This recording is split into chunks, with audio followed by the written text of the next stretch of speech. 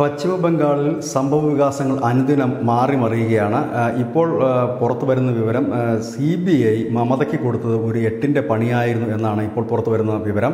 കാരണം C B I ഈ case ഇന്നലെ രണ്ട് മന്ത്രിമാരെ ഒരു എം എൽ എ മേയറെയും അറസ്റ്റ് ചെയ്ത ഒരു കേസ് ഈ നാരദ ന്യൂസ് പുറത്തുവിട്ട ഈ കേസ് രണ്ടായിരത്തി പതിനാറ് മുതൽ അന്വേഷിക്കുന്നതാണ്. അന്നു മുതൽ തന്നെ ഈ പ്രതികളെ അറസ്റ്റ് ചെയ്യാൻ കോടതിയിൽ ഹാജരാക്കാൻ സി ബി ഐ ശ്രമിച്ചിരുന്നു. അന്നേരമെല്ലാം അതിനെ തടയിട്ടിരുന്നത് മമതയും അതുപോലെ തൃണമൂൽ ഗുണ്ടകളുമായിരുന്നു എന്നാൽ ഇത്തവണ എല്ലാ പഴുതുകളും അടച്ചു തന്നെയാണ് സി ബി ഐ എത്തിയിരിക്കുന്നത്. അതായത് രണ്ടും കൽപ്പിച്ച് തന്നെയാണ് സി ബി ഐ എത്തിയത്. അതുകൊണ്ട് തന്നെ അവരുടെ തന്ത്രങ്ങൾ പിഴയ്ക്കാതെ തന്നെ മുൻപോട്ട് പോകുന്നു എന്നാണ് ഏറ്റവും പുതിയ വാർത്തകൾ സൂചിപ്പിക്കുന്നത്.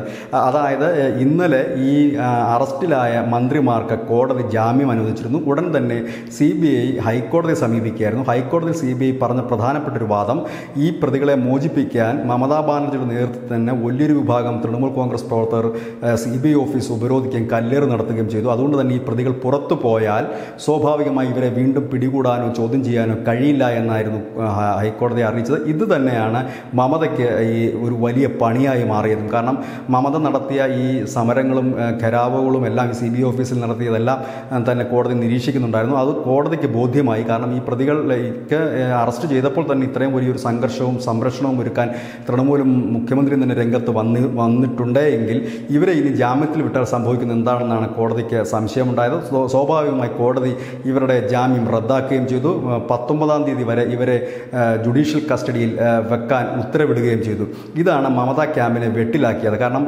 ചുമ്മാതിരുന്ന ഇവർ അറസ്റ്റ് സ്വാഭാവികമായി ചിലപ്പോൾ ഒരുപക്ഷെ ജാമ്യം കിട്ടുമായിരുന്നു. പക്ഷേ ഇന്നലെ മമതയുടെ നാടകവും ഒപ്പം തന്നെ തൃണമൂൽ കോൺഗ്രസ്സുകാരുടെ ആക്രമണവും എല്ലാം തന്നെ സി ബി ഐ ഒരു തന്ത്രമാക്കി മാറ്റുകയായിരുന്നു. സി ബി ഐ അതൊരു വലിയ കരുവാക്കി മാറ്റി കോടതിയെ സമീപിക്കുകയായിരുന്നു. ഇവർക്ക് ജാമ്യം കൊടുക്കരുതെന്നും ഇപ്പോൾ തന്നെ ഇവരെ മോചിപ്പിക്കാനുള്ള ശ്രമം നടന്നിട്ടുണ്ടെന്നും ജാമ്യം കൊടുത്താൽ ഇവരെ പിന്നീട് പിടികൂടുകയും ചോദ്യം ചെയ്യുകയും അസാധ്യമാണെന്നുമാണ് കോടതി അറിയിച്ചത്. കോടതി ഈ വാദം ശരിവെക്കുകയായിരുന്നു. അങ്ങനെയാണ് ഇവരുടെ ജാമ്യം നിഷേധിച്ചത്.